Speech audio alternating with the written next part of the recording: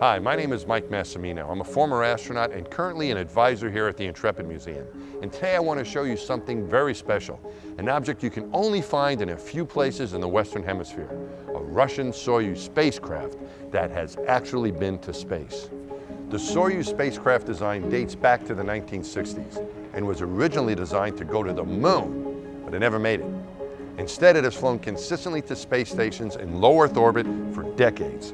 It can accommodate three people that lay on their backs with their knees bent and their feet in footrests. In front of them is the display and control panel.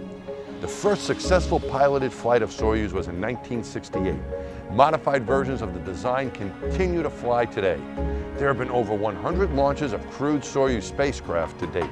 The spacecraft displayed here is Soyuz TMA-6, launched into space on April 15, 2005. One of the people on board was a private citizen, American engineer and entrepreneur, and my good friend, Greg Olsen. Greg was the third private citizen to orbit Earth on the International Space Station, but he wasn't just along for the ride. He had to train for the flight and learn all the emergency procedures, just like every other cosmonaut and astronaut. The Russian Soyuz spacecraft and the American Space Shuttle both carried crew to and from the International Space Station. However, their designs were very different Soyuz carries a maximum crew of three. The typical space shuttle crew was seven.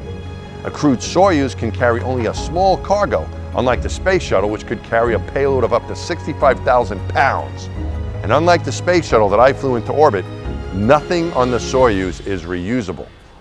The Soyuz has three basic parts.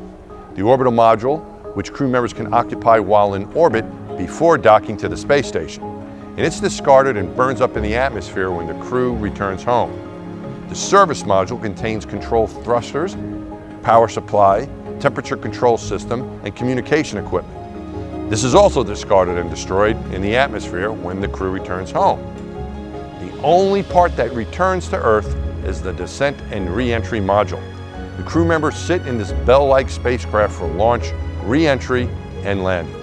Soyuz TMA-6 is on loan from my good friend and fellow space flyer, Greg Olsen. We are grateful for his generous support of this exhibit, and I personally am very grateful for his friendship. For more behind-the-scenes videos, visit intrepidmuseum.org.